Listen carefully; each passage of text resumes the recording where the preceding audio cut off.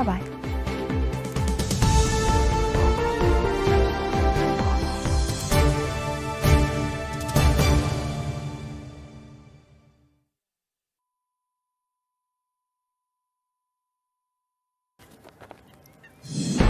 Families and friends reunited and outdoor sport is back. England begins the lifting of lockdown. The stay at home message has been relaxed and we're even allowed to meet in groups of up to six. For many, it really is Happy Monday. I can't define it in words as to what I felt when I've seen my family after so long. I definitely value these relationships more, more now because I've seen that how difficult it is to live without. From the government, though, some words of warning amidst the optimism. What we don't know is exactly how strong our fortifications now are, how, how robust our uh, defences are against uh, an, another wave. So it's not quite back to business as usual just yet, but it is a start. We're out in the spring sunshine as England enjoys. Also on the programme tonight in the US, the trial begins of the police officer accused of the murder of George Floyd. And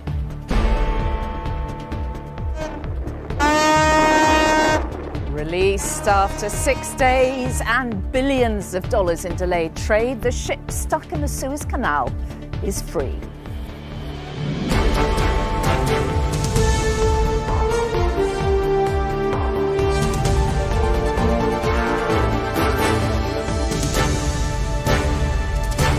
From Hyde Park, this is the ITV Evening News with Mary Nightingale. Good evening from Hyde Park in central London, where the sun is out and uh, so are hundreds of people all enjoying the first day of easing of lockdown in England. Now, the stay at home rule has been relaxed, and from today, two households or groups of up to six people can meet outside. Outdoor sport is allowed again, too, and it doesn't just feel like we're finally turning a corner in this horrible pandemic. In Leeds, people have been taking advantage of some fine weather to enjoy their local parks. In Leicester, the tennis is back on, as is golf and many other sports and activities. And what a day to enjoy being at the beach again, like Weston Super Mare in Somerset. There was, though, a timely reminder from the Prime Minister and the government's chief scientist to keep following the social distancing rules and not ruin all the good efforts we put in so far. And we'll have more on that in just a moment. But first, here's Paul Davis on family and friends reunited. A nation that's known so many dark days and had to live with so many rules and restrictions woke up to something a little bit better.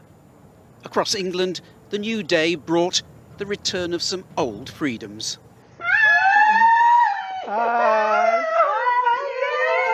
There was even some welcome sunshine as the relaxation of COVID regulations meant the Jaju and Mashweri families could meet face to face in a North London garden. A simple pleasure, only appreciated when it was taken away. Imagine not meeting your brother for months and months, living just down the road, still you can't see them. It's been tough, definitely, last four, five months. Really tough. I can't define it in words as to what I felt when I've seen my family after so long. I definitely value these relationships more, more now because I've seen that how difficult it is to live without. Across England, families and friends have been reunited, a step Scotland and Northern Ireland will follow next week. For some, not so much a reunion, but an introduction. In Bedfordshire, baby Bella here, born during lockdown, is meeting family for the first time. Absolutely lovely. Obviously, I can't have a cuddle, but that, that I don't mind. I've seen her. That's important to me. Feet are nicely apart, Outdoor exercise is back on the agenda. Few more enthusiastic than the early morning Tai Chi class at Swadlincote in Derbyshire. The start to a beautiful new freedom, I hope. Still within the rules, still socially distanced, but really enjoying it. They were queuing before 8am for the outdoor swimming pool at Hathersage in the Peak District. The sun hadn't yet put in an appearance when the covers were removed, but that didn't seem to matter after months of lockdown. I feel like I've won the lottery. it's been it's been cooped up is not good. Not good for physical health, mental health, anything. Feels amazing, amazing. There will continue to be restrictions, but today is a significant milestone on the road back to normality, one that brings with it a much needed feel good factor. And an appreciation of some things, like the company of those we care for and we're probably guilty of taking for granted. Paul Davis, ITV News. So here are the rule changes for England in more detail. Now, as the stay at home rule lifts, people are now allowed to meet in groups of up to six or as two households in parks and gardens. Football and cricket pitches are reopening, as well as tennis courts, golf courses, and outdoor swimming pools. And organised team sports can start again outside. Weddings can also now start again with up to six guests, but people should still work from home wherever possible. And the stay at home order has been replaced now with stay local instead. If it all goes to plan and infection rates don't rise, we should be on track for the next stage on the 12th of April, which would see non essential shops, beauty services, gyms, and outdoor hospitality reopening. And there was a cautionary tone, though, today from the Prime Minister as he gave his first COVID news conference from Downing Street's new multi million pound media briefing room. Boris Johnson said it is not clear how well protected the UK is from the third wave sweeping across mainland Europe. He underlined how vital it is that everyone gets vaccinated. So let's have a look at the latest data, which showed that 4,654 new infections in the UK, and there were 23 further deaths, continuing the big fall over the past week. And more than 30 million people have had their first dose of vaccine. Here's our political correspondent Carl Dinnen on the call for caution. A little red heart to represent each life lost to COVID. Bereaved families are drawing them on the embankment wall opposite Parliament. They say their memorial will eventually be more than half a kilometre long. So, speaking from his new briefing room today, the Prime Minister struck a careful tone. I know how much it will have meant to millions of people to have joined someone else for a cup of tea in the garden. And I must stress that it's only because of months of sacrifice and effort that we can take this small step towards freedom today, and we must proceed with caution. There's a great sense of release around the country today with the lifting of some restrictions. Uh, do you worry at all that uh, people might take that too far? What we don't know is exactly how strong our fortifications now are, how, how robust our uh, defences are against uh, an, another wave. What we do know is that the lifting of restrictions in England today will cause some more infections. There is a high uh, likelihood that there will be some uptick as a result of the uh, um, relaxations today, and that was anticipated right from the beginning of trying to lay out where the roadmap would go. Provided people stick to outdoors and at a distance if it's people who are not in their households, the impact on in terms of an uptick should be modest. The government has updated its messaging today to remind people of the importance of ventilation. Hands, face, space and fresh air. But could the government itself be doing more? I think the single biggest risk is, of course, what we're seeing happening in other countries where the numbers are still going up. And one of my primary concerns is that uh, under the government scheme, only 1% of those coming from abroad is quarantining. Um, and that seems wrong. We should have a comprehensive scheme for quarantining. There is palpable concern within government about the rising tide of infections in Europe. So, although restrictions are easing around the UK this week, the prospect of a summer holiday on some foreign beach is still highly uncertain. Carl Dinnen ITV News, Westminster. And our political editor Robert Peston joins me now. Look, Rob, this is all very welcome. Sun's out, it's lovely, but there is a certain amount of jeopardy for the Prime Minister here, isn't there? There is, and what really struck me is that although the data is definitely moving in the right direction, he and his scientific advisors were remarkably cautious. Chris Whitty said, even if you've had both jabs, don't hug your children and grandchildren because he says there's still a risk. Uh, you know, the Prime Minister says don't take it for absolute granted that the roadmap uh, of opening is going to proceed exactly on time. He also said, which, you know, sort of classic Boris Johnson, he said no, he doesn't want there ever to be another lockdown, but in the end, that's our responsibility, not his. He wants us to follow the rules. And his broad message is if we don't follow the rules, there will be another lockdown. He's constantly pointing to the surge in infections on the other side of the channel and saying, you know, we've got to protect ourselves because last time they had a surge, we suffered too. But if I'm honest, and as you just pointed out, uh, the sun is shining. It's lovely to be out in a park. It's lovely to have great company. So I, for one, I'm quite cheerful. Yeah, I think we all are. For today, thank you, Robert. Thanks very much indeed. Well, the lifting of some restrictions in England came just two days after some of the rules were also relaxed in Wales. Thousands of people poured onto beaches and mountain beauty spots there after travel restrictions were lifted within the country. And the next review of lockdown measures in Wales is due this Thursday. A relaxing of the rules in Scotland will begin on Friday when the stay at home order there will end in favour of stay local again before hairdressers and garden centres reopen next week. While in Northern Ireland, up to six people or two households will be able to meet outdoors from Thursday. And we will have all the details, what you can, and perhaps more importantly, what you can't do across the UK on our website. That's itv.com forward slash news. So, moving on there, and although the vaccination programme is going well across the UK, it did emerge today that the take up is very patchy among minority ethnic groups. Figures from the Office for National Statistics show that in England, over 70s of black African heritage are more than seven times more likely not to have received their first dose of vaccine. Our health editor Emily Morgan reports on the concerns that the message just isn't getting through. My parents have had the vaccine. My mum has had the vaccine. There is a worrying trend that those disproportionately affected by COVID are shunning the very thing that will protect them. Taking the vaccine is the only way to boost your immunity against COVID for you and your loved ones. Numerous campaigns have been launched to try to turn this around, but four months in, and poor vaccine take up is still a problem. It's even dividing families. My daughter, she's no she, she's not sure if she has to take it. She's only 22.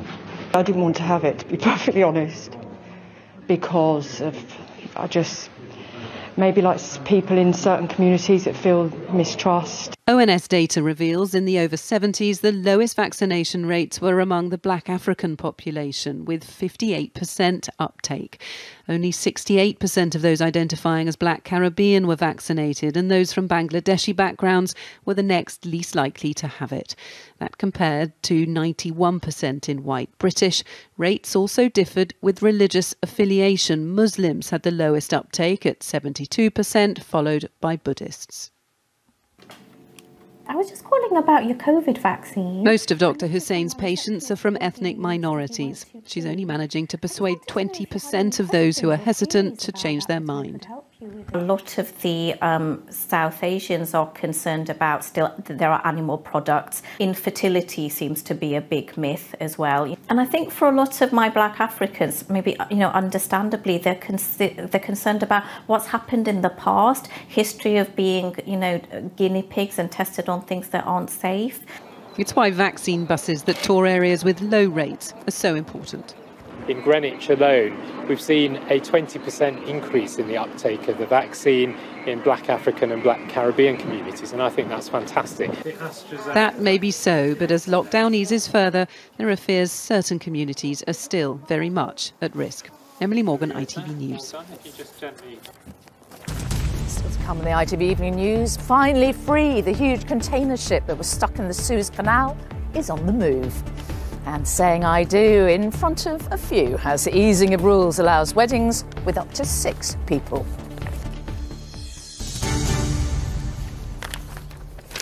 But before that, the family of George Floyd have told ITV News they are hoping for justice as the trial of the police officer accused of his murder got underway in the United States. Prosecutors played the disturbing and shocking video of George Floyd's final moments to the court and said that the officer, Derek Chauvin, had betrayed his badge. From the hearing in Minneapolis, here's our US correspondent, Emma Murphy. All right, what's your name? George. George? George Perry Floyd. There was a time George Floyd's name was not globally known. Spell it for me. G E O. But these were the final moments of that obscurity Last name? Floyd. Before his life ebbed away beneath the knee of a police officer. And before his name became synonymous with one of the most troubled times in the history of the United States. Today, a jury began considering its judgment of this man, Derek Chauvin, accused of abusing his power to hold George Floyd beneath his knee for more than eight minutes. No longer a man of uniform nor freedom, he faces murder and manslaughter charges, accused of using lethal force without cause. Mr. Derek Chauvin betrayed this badge.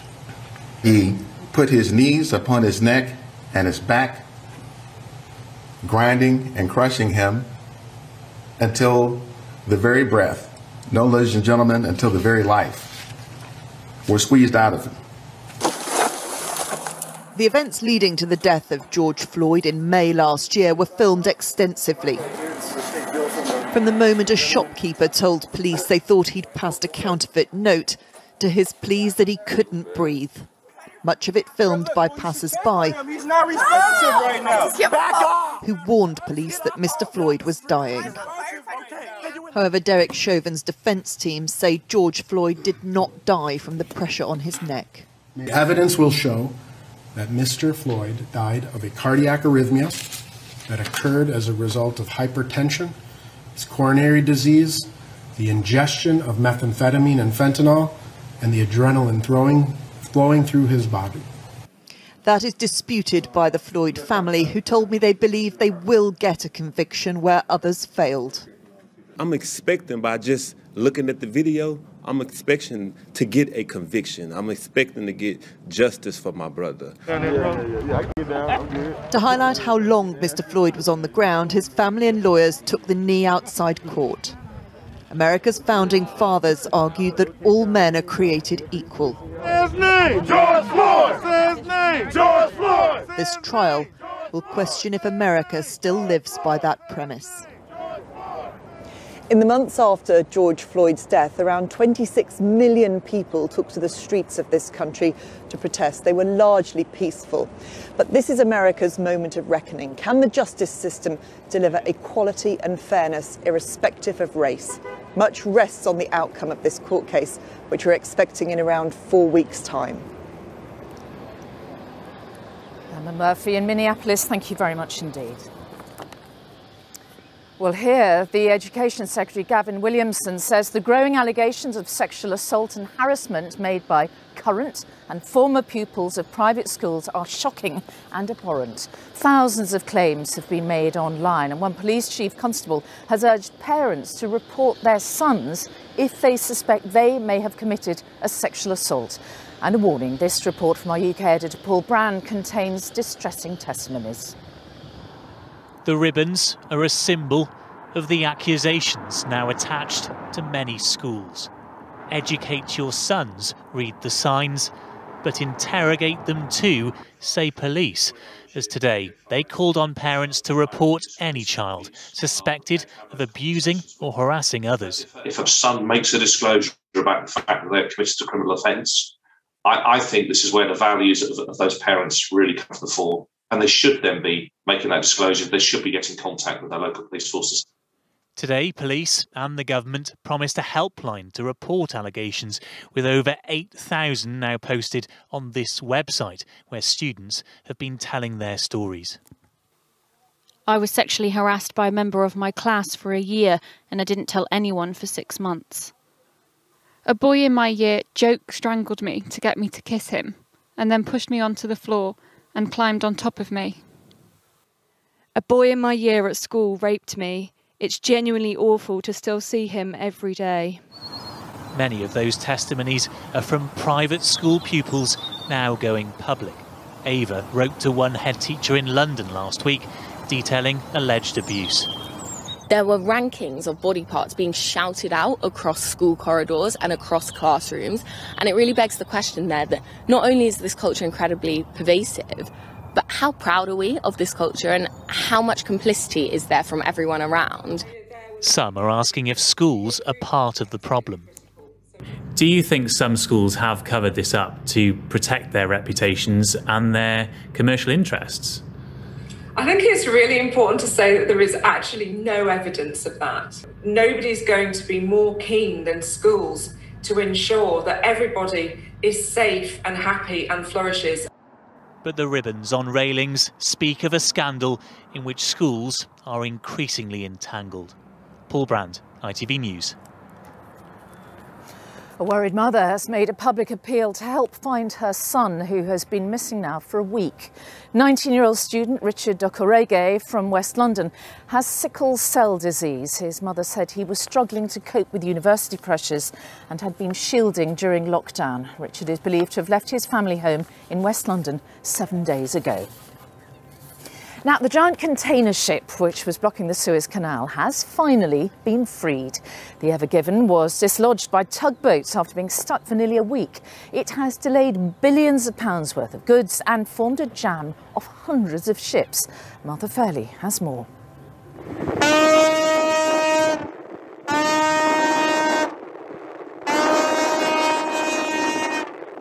Heralded by a fanfare of horns, the Ever Given is afloat at last. This colossus of the shipping world, now arguably the most famous of container ships, is sailing in a slow and careful procession along the Suez Canal, surrounded by a flotilla of tugboats. But it is still under tow from the salvage team that rescued the vessel after it became wedged across this narrow but vital shipping lane. It's almost a week since the Ever Given first got stuck. Overnight, engineers partially refloated it, but it was still blocking traffic. The rescue effort focused on dredging mud and sand from around the ship, while tugboats pulled it when last night's full moon high tide raised water levels. This afternoon, it was finally freed. It's now being escorted to the Great Bitter Lake for a technical inspection. The backlog of waiting ships has cost over £6.5 billion a day to global trade. On the banks of the Suez Canal, where the Ever Given's cargo had become part of the landscape for six days, a small crowd gathered, witnessing for themselves the passing of this 220,000 ton ship. But the canal remains closed to other traffic while damage to the banks is assessed to ensure that ships and the valuable cargoes they carry can flow freely once again. Martha Fairlie, ITV News. And finally tonight, spring is in the air, and for some, love is too. Weddings are now allowed in England, although only small ceremonies with, of course, a maximum of six people. Even so, many couples are jumping at the chance finally to get hitched. Stacey Foster was with one very happy bride and groom in Newcastle under Lyme. Would the congregation please stand? It was a much smaller celebration than Oliver and Danielle originally planned. And because of COVID, the bride had to walk herself down the aisle with her father two metres behind. Isn't it wonderful to be able to celebrate with Oliver and Danielle today in the midst of this difficult time? This is one of the first weddings allowed since the latest lockdown. And with only six people, including the bride and groom, allowed in person, the rest tuned in online. By the joining of hands and by the giving and receiving of rings, I therefore proclaim that they are husband and wife. And while you are allowed to seal a marriage with a kiss, the signing of the registers requires your own pen. There were many traditions of a church wedding, but for this couple, getting married on the 29th of March was non negotiable. It means so much to us to get married before our son arrives. That is the main consideration, I think. Yeah. We didn't think it was going to be possible to be able to get married before he comes. Yeah, and with the due date only being six weeks away, um, we wondered if Boris's plans would keep getting pushed back or anything like that. So yeah. we just selected the date and went for it. The vicar was on hand to help as official photographer at the first wedding here since September. And if we could just get a photo with close family, please. But with receptions still banned until next month, Oliver and Danielle's wedding breakfast was a socially distanced afternoon toast in the garden. They've spent 95% less on this wedding day, but it couldn't mean any more. Stacey Foster, ITV News, Newcastle under Lyme. And that is all for now from Hyde Park, where the sun is still shining. And there really is a feeling that things just may be starting to change for the better. Today saw the next stage of the lifting of lockdown in England, and the roadmap looks on track for further easing in the coming weeks. And there should be even brighter days ahead, dare we hope. Tom will be here with news at 10, but from me and all the team of six, there's now a new message for England stay safe, stay well, and stay local from all of us here. Bye bye.